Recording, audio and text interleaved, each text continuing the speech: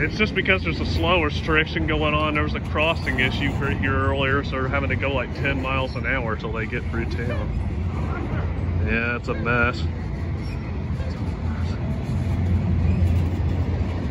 The end should be here real soon now.